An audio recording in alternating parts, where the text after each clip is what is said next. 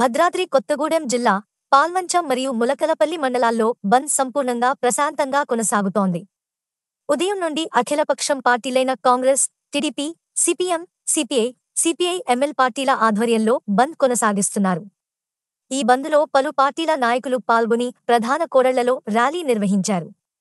ఈ నేపథ్యంలో వ్యాపార సముదాయాలు విద్యాసంస్థలు ఆర్టీసీ బస్సులు రవాణా వాహనాలు స్తంభించి హైవే రహదారులు నిర్మాణస్యాన్ని తలపిస్తున్నాయి. కేంద్ర ప్రభుత్వం ప్రజా వ్యతిరేక విధానాలకు పాల్పడుతుందని ఈ రోజు తలపెట్టిన గ్రామీణ భారత్ బంద్ జిల్లా వ్యాప్తంగా ప్రశాంతంగా కొనసాగుతోంది. ఆర్టీసీ డిపోలలో బస్సు చక్రాలు కదలలేదు డిపోలోకే పరిమితమైన. ఆర్టీసీ బస్సులు ప్రయాణికులు లేక బస్టాండ్లు బోసిపోయాయి. దీంతో బంద్ ప్రశాంతంగా కొనసాగుతోంది.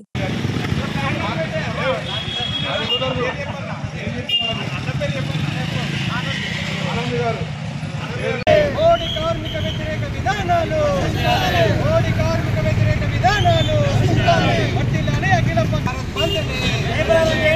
వ్యతిరేక విధానాలు మోడీ ప్రజా వ్యతిరేక విధానాలు నశించాలి. మోడీ ప్రజా వ్యతిరేక విధానాలు. నశించాలి